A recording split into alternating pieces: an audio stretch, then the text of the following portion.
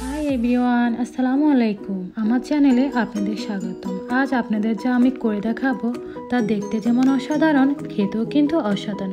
আর এটা দেখতে এতটাই সুন্দর যে খাওয়ার আগ্রহকে বাড়িয়ে দেয় দ্বিগুণ।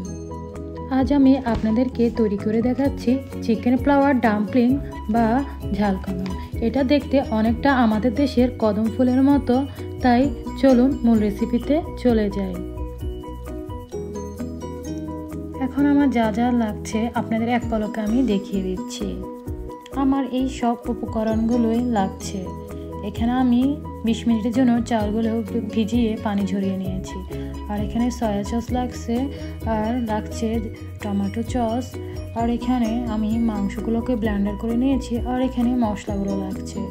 এখানে আদা বাটা, রসুন বাটা, হলুদ, মরিচ, জিরা, ধনিয়া, চাট মশলা, গরম মশলা আর একটু চিলি ফ্লেক্স লাগছে। তো আমি এই মশলাগুলোই ইউজ করব ঝাল কদম বানানোর জন্য। আর এখানে আমি মাংসগুলোকে ব্লেন্ডার করে নিয়েছি। আমি চিকেন দিয়ে বানাবো। তো দেখতে পাচ্ছেন আমার এই মশলাগুলো লাগছে। তো প্রথমে একটি বাটিতে আমি মাংসগুলো নিয়ে নিলাম আর একে একে সবগুলো মশলা আমি মুরগির সাথে নিয়ে নিলাম।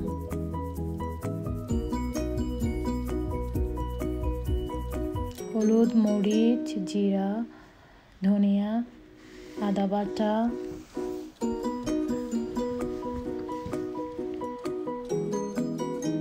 পরিমাণ মতো লবণ, চিলি ফ্লেক্স, সবই আমি এটার সাথে মিক্সড করে ভালো করে মেখে নেব।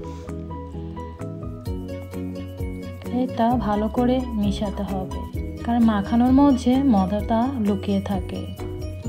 যত বেশি সুন্দর করে মাখাবেন, খেতেও মজা লাগবে, দেখতেও সুন্দর লাগবে। এখন আমি মিক্সড করে নিচ্ছি।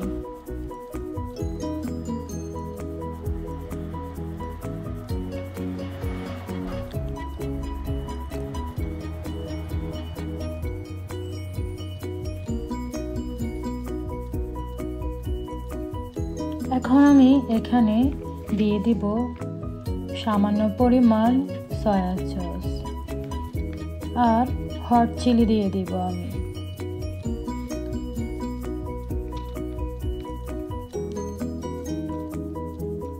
এটা হচ্ছে হট চিলি সস এটাতে এত সুন্দর একটা গ্রান আসে, এই মানে গ্রানের কারণে কিন্তু ঝাল কদমটা খেতে খুবই মজা লাগবে।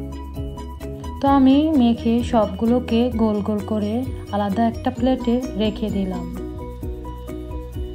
আপনারা এভাবে গোল গোল করে নেবেন। তারপর এখন দিয়ে দিব চাউলে এবং একটা চামচের সাহায্যে চাউলগুলোকে এই বলটার মধ্যে চেপে চেপে লাগিয়ে দেব। আমি আপনাদের আরেকটা করে দেখাচ্ছি। আপনারা চালগুলোকে এই মাংসের বলের মধ্যে ভালো করে লাগিয়ে লাগিয়ে নেবেন। এই তো আমার হয়ে গেল চালগুলো লাগানো। দেখতে পাচ্ছেন, ঠিক এভাবে ট্রাই করবেন। এখন আমি চুলোতে একটা পাতিল বসিয়ে দিলাম এবং পাতিলের মধ্যে আমি একটা চামচ দিয়েছি। দেখতে পাচ্ছেন যেন পানিগুলো উতরিয়ে না যায়। এখন উপরে দিয়ে দিলাম একটা ট্রে। কারণ আমি এই ট্রেটাতে ঝাল কদমগুলো আমি মেক করব। আর এখানে ব্রাশ করে নিচ্ছি সামান্য পরিমাণ তেল, যেন কদমগুলো লেগে না যায়।